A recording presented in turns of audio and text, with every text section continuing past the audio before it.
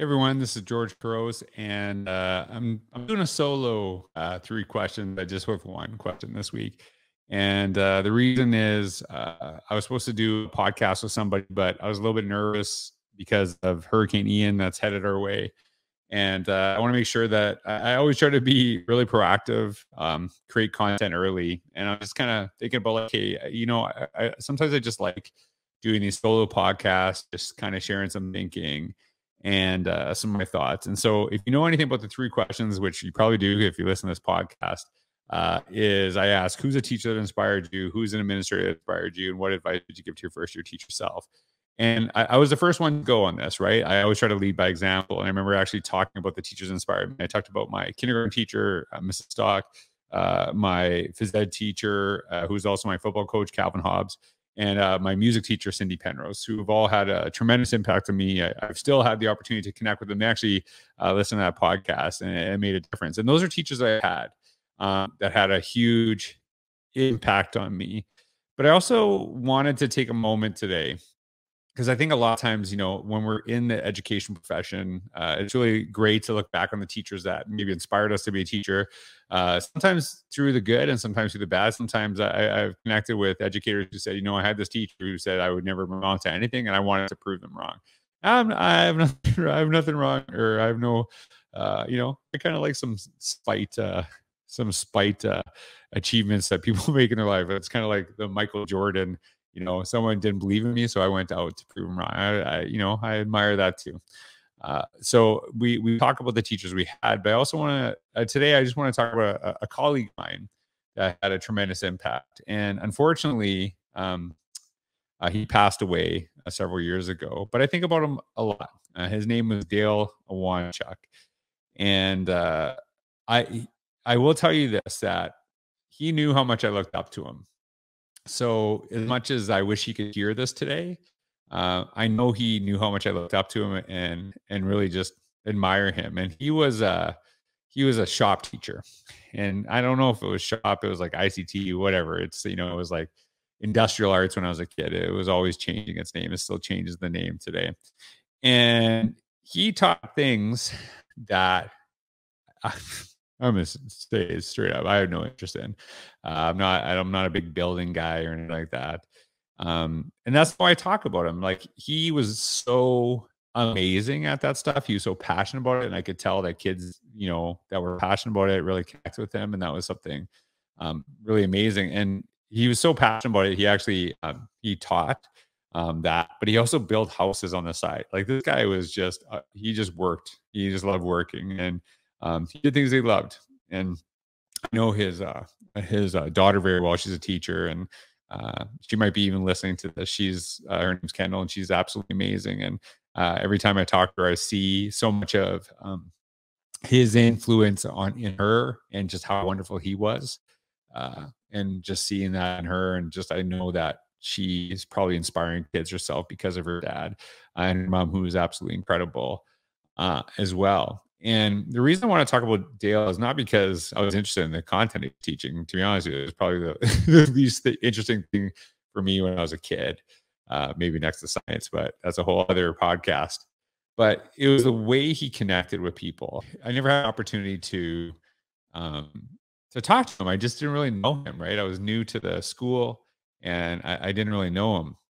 And so we it took us it took me about four months uh, in that first uh, year uh, and I worked with him for five years to actually uh, started actually talking to him. I remember it was right before um, we went on December break, and uh, I just made it. I just I just remember um, making a joke, and he's like, "Hey, have a you know have a good break with your family," and it was like our first interaction, and I mean, just there's a lot of teachers there and stuff like that. And I don't know, there's something really special. I already looked up to him. I knew he had such influence on staff that you know people on the staff really looked up to him and uh, how big of an impact that he had but I just saw him connect with kids and connect kids connect with him. And it was really reminded me, like I always talk about relationships, but he was a master of it. And it was a reminder to me that when we talk about relationships and education, and Dale was a master of this, was it is not a one-way street. We talk about relationships like we really need to know our kids, but I think it's really important that kids, you know, know us. And what I mean by that is he was passionate about, um, you know, many things in his life, his family, obviously, the work that he did, and kids knew this about him, and they looked up to him. He wasn't, you know, someone who only presented himself as a teacher. He had other interests that he was really excited about, and you know, kids would spend their time talking to him, and um, it was just a really powerful thing. But it was also that he had very high expectations um, from his students, and I say something in uh, my talks that was influenced by him tremendously.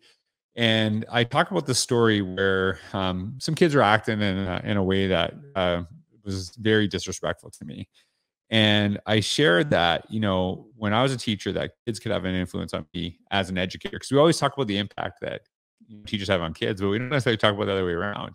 And I got this from Dale because he said, when he would talk to his students, that you say, would I cross the street to come talk to you if I saw you outside of school? Because that showed him that you had an impact. And it was it was really kind of thinking about that.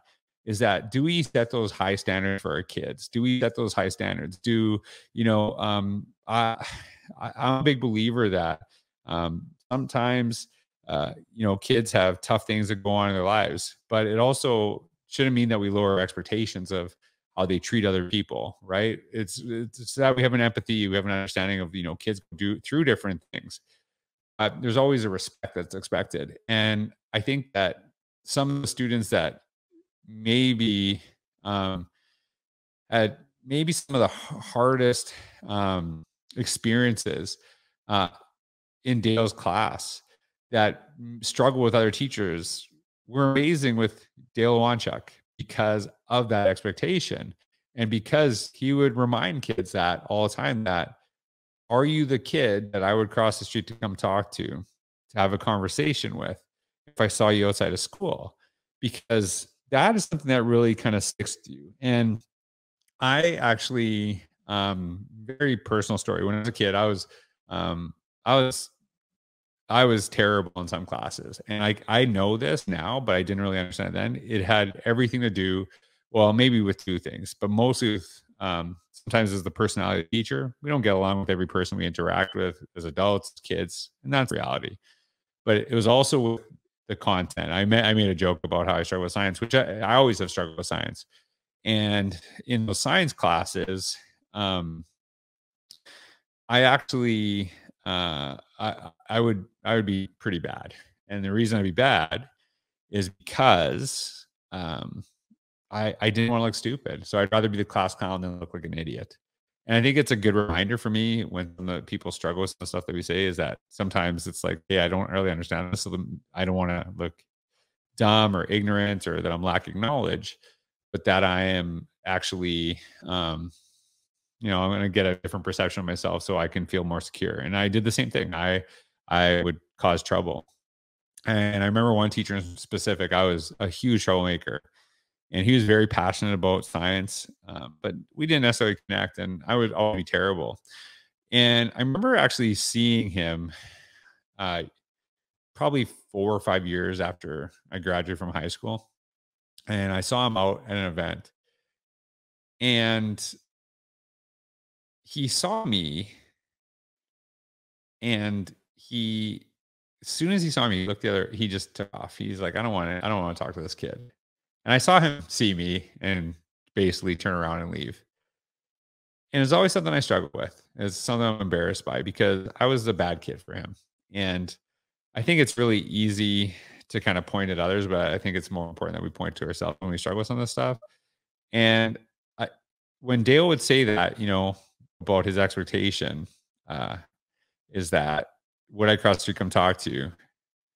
I remember that teacher actually literally crossing the street to avoid me, basically going away from me because I was a bad kid. And it's like we sometimes pretend that teachers aren't humans. Teachers don't have feelings or emotions, and they're not affected by negative things. You know, I, I I know teachers that have had kids do horrendous things to them, and I don't know how they came back from it. To be honest, you in some ways.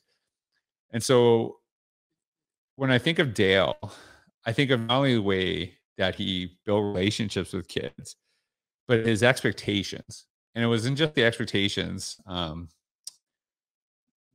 it wasn't just the expectations he had of kids, it was of his colleagues. And just being around teachers like that, I know that I became better because of him. And I also know, and I think this is really important, that a lot of people became better. It wasn't just me. He had an impact on so many people.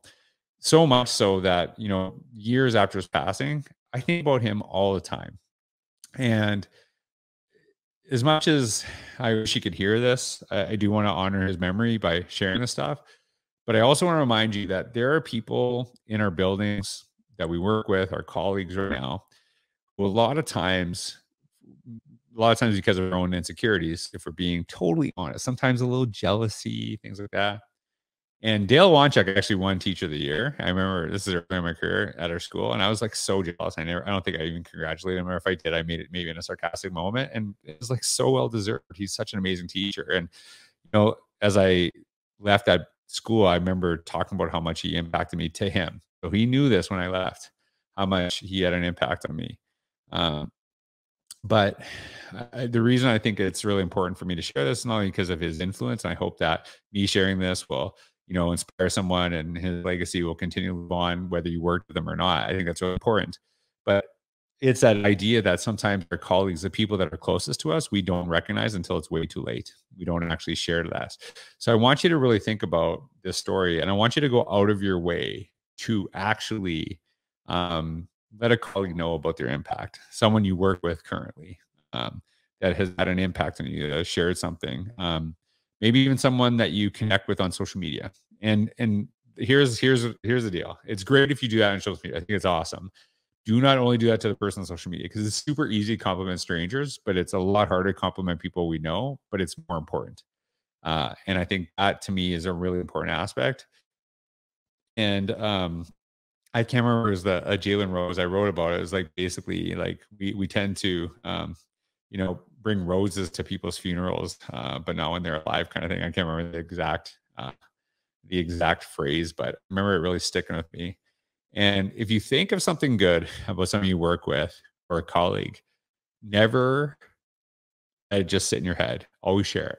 There is never a time where a compliment cannot benefit someone else. And we sometimes say, oh, that person probably gets compliments from so many other people. Well, if other if you think that and other people think that, maybe that person hears no compliments. Um, sometimes the people that have had the biggest impact hear it the least. And we need to do that, especially in a profession where uh, people don't get credit. A lot of times they only hear negative things, they only hear when things go wrong. We need to be advocates for one another. And that's kind of the reason I want to share about Dale today. And so I hope that his story maybe impact in a positive way. But more importantly, I hope that you ensure that the people closest to you, you share gratitude for them. Uh, way too early rather than way too late. It, it does make a difference. So, uh, thanks for joining me on this solo episode of three questions, even though I just did one question. But I hope I inspired you to to to share who inspired you to them to their basis. So, thanks for joining me. Hope you have a wonderful week ahead.